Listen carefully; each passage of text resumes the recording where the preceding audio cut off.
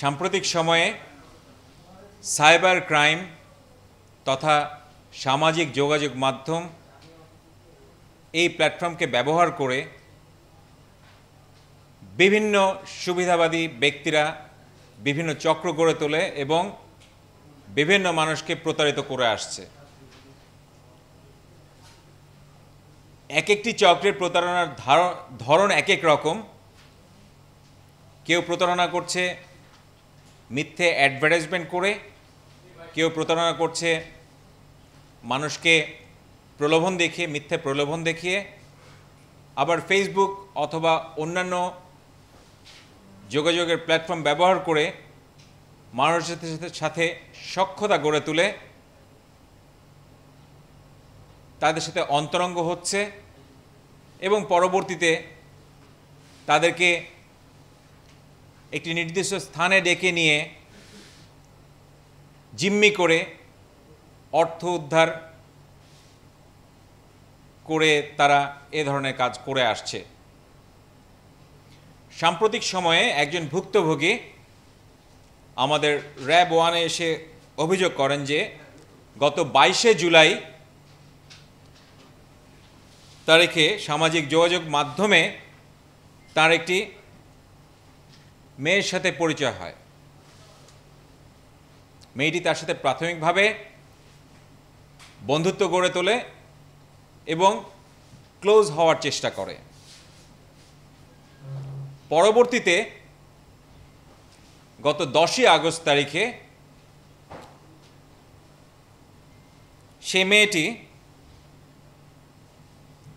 এই ভুক্তভোগীকে রাজধানীর একটি অভিজাত আবাসিক এলাকায় তার বান্ধবীর বাসায় সুকৌশলে ডেকে নিয়ে যাওয়ার জন্য আমন্ত্রণ জানায়। সেই অভিযুক্ত মেয়েটিকে, মেয়েটির মিষ্টি কথায় এবং ভালো বন্ধু ভেবে সম্পর্কের খাতিরে সেই বাসায় গমন করে। কিন্তু যাওয়ার পরপরই ওখানে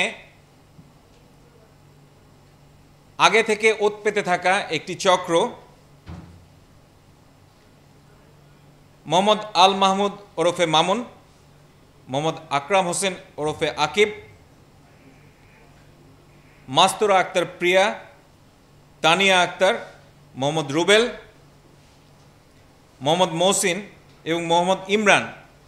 এই ভিকটিমকে জোরপূর্বক বিবস্ত্র করে আপত্তিকর ভিডিও ধারণ করে এবং ছবি ধারণ করে। এরপর এই ভিকটিমের কাছ থেকে দশ লক্ষ টাকা চাঁদা দাবি করা হয় এবং এই টাকা দিতে অপারগ হলে ভিকটিমের এই সমস্ত ভিডিও এবং ছবি সামাজিক যোগাযোগ মাধ্যমে ছেড়ে দেওয়া হবে বলে হুমকি প্রদান করে। এই চক্রটি ভিকটিমের কাছ থেকে তৎক্ষণাৎ ভিকটিমের wallet, credit card, debit card এবং অন্যান্য সকল কিছু কেড়ে নেয় এবং ভিকটিমের মোবাইলে থাকা বিকাশের মাধ্যমে এক লক্ষ টাকা তৎক্ষণাৎ তারা সংগ্রহ করে। এরপর ভিকটিমকে আরও চাপ প্রয়োগ করে দশ লক্ষ টাকা দেওয়ার জন্য কিন্তু ভিকটিমের অ্যাকাউন্টে যথেষ্ট পরিমাণে টাকা না থাকায় ভিকটিম ওই সময়ে আরও চার লক্ষ টাকা দিয়ে সেখান থেকে ছাড়া পায়। এই ঘটনাটিকে ভিকটিম একটি বিচ্ছিন্ন এবং বিচ্ছিন্ন ঘটনা এবং দুঃস্বপ্ন মনে করে যেহেতু সে টাকা দিয়েছে, সুতরাং সে ভাবে যে এই ঘটনা হয়তো পরবর্তীতে আর বেশি দূর গড়াবে না, তাই সে কারও কাছে অভিযোগ না করে সামাজিক ও লোক লজ্জার ভয়ে নীরব থাকে। কিন্তু এ ঘটনার আরও এক সপ্তাহ পরে মূল অভিযুক্ত মোহাম্মদ আল মাহমুদ ওরফে মামুন ভিকটিমকে ফোন করে আরও দু লক্ষ টাকা চাঁদা দাবি করে। তা না হলে তার এই আপত্তিকর ভিডিও এবং ছবি সামাজিক যোগাযোগ মাধ্যমে ছড়িয়ে দেওয়া হবে বলে হুমকি প্রদান করে। এ অবস্থায় ভিকটিম নিরুপায় হয়ে আমাদের র্যাব একে শরণাপন্ন হন এবং তার ঘটনাটি বিস্তারিতভাবে আমাদের কাছে তুলে ধরেন। এই ঘটনার প্রেক্ষিতে আমরা দ্রুততার সাথে ছায়া তদন্ত শুরু করি এবং এই ঘটনার সত্যতার প্রমাণ পাই। পরবর্তীতে আজ ভোর ছটার দিকে আমরা রাজধানীর বসুন্ধরা এলাকা এবং উত্তরার দক্ষিণখান এলাকা থেকে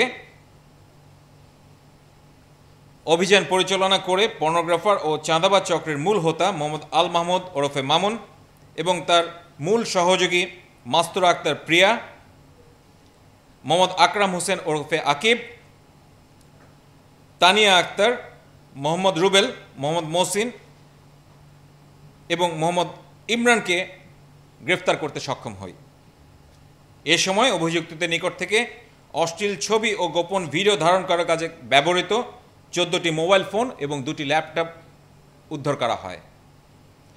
প্রাথমিকভাবে ধৃত আসামিরা বর্ণিত অপরাধের কথা স্বীকার করেছে।